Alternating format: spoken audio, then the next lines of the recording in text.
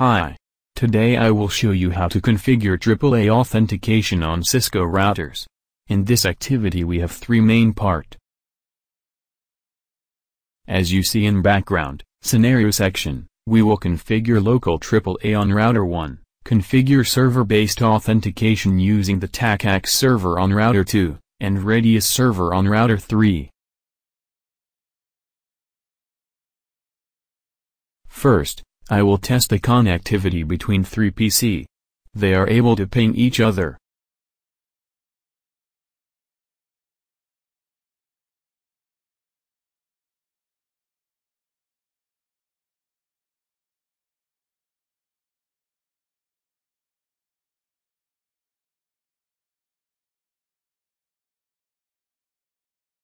And then, configure the local user for authentication.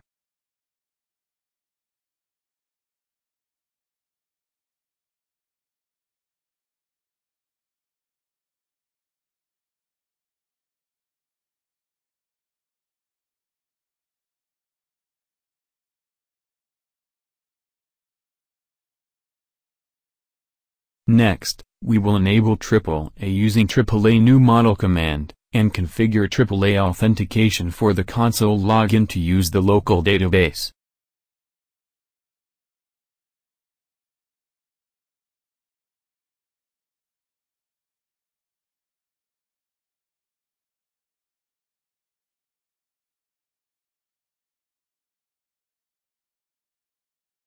And now, we configure the line console to use the defined authentication method.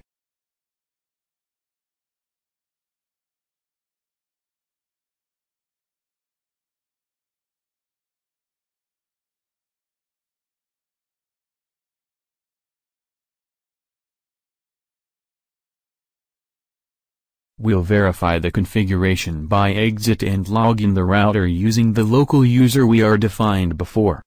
It should be success.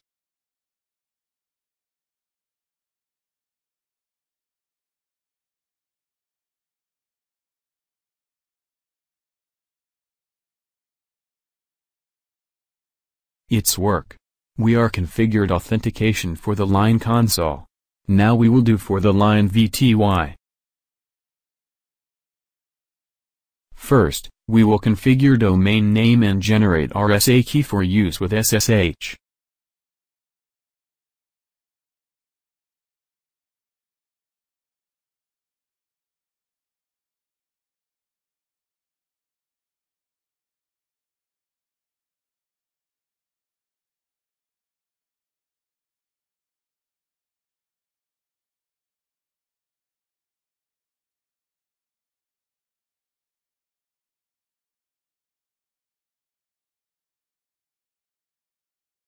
And then, we configure a named list AAA authentication method for the VTY lines.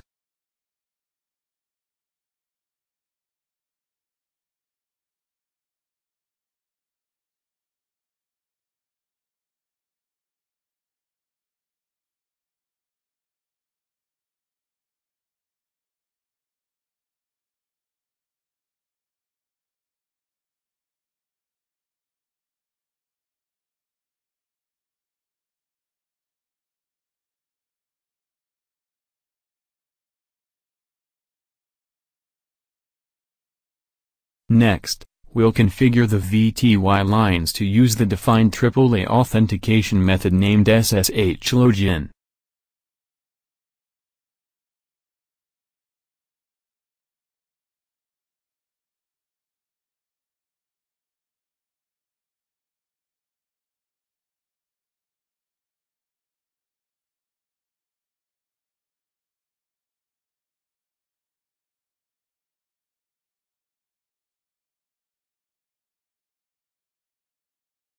Finally, we'll verify the SSH connection to router 1, from the command prompt of PCA, using the local account admin 1.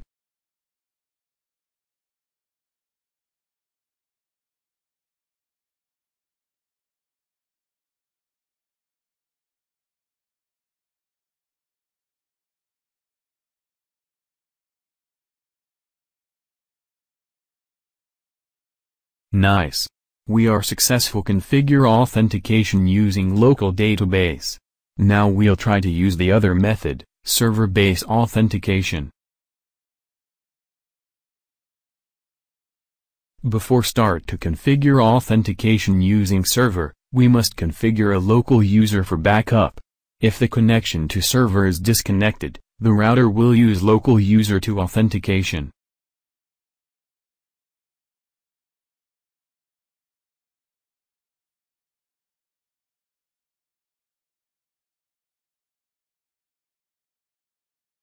This is a TACACS server, where we store all user to authentication. So if we have many users, we don't need to configure all of these users on each router.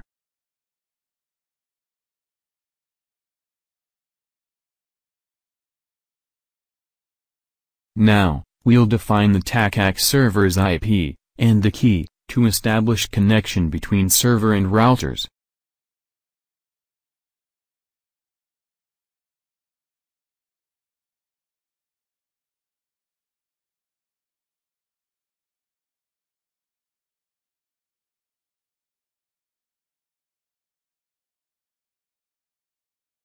Next, we'll configure AAA login authentication, for console access, on router 2.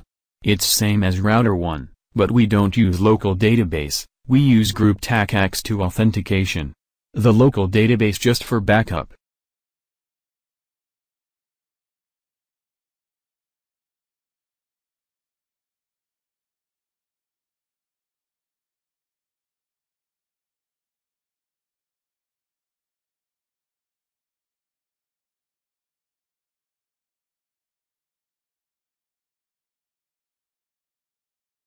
And then, configure the line console to use the defined authentication method.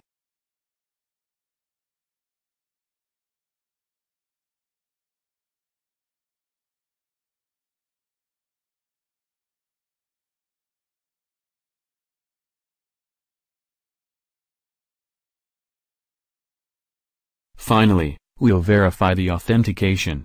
And it's work correctly.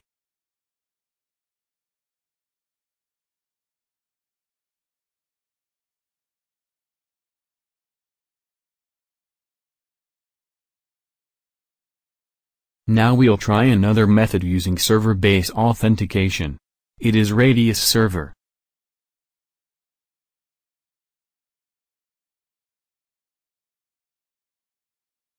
We'll do the same as router 2, configure local user for backup.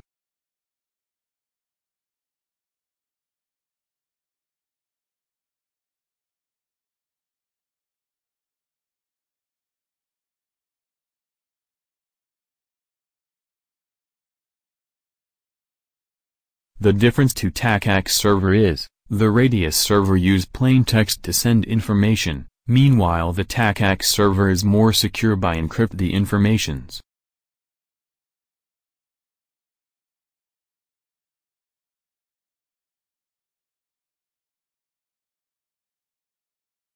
We'll configure server's IP and key, same as sample configuration.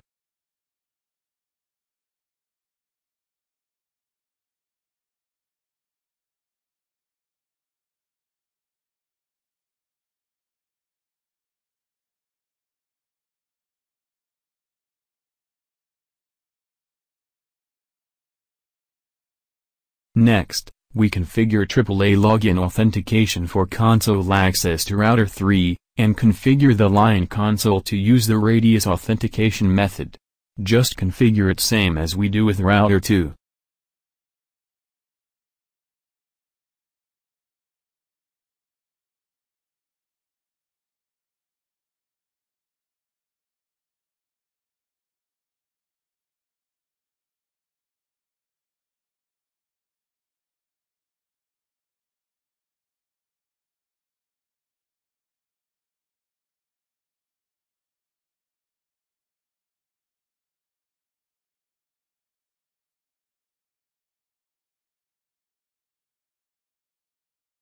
Finally, we verify the authentication. It should be success.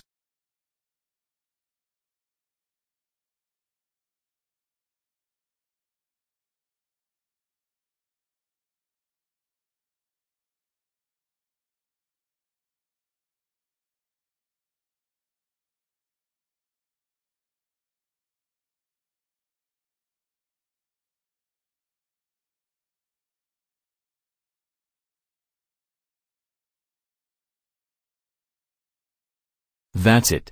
We are done and got 100%. Good luck and thank you for watching.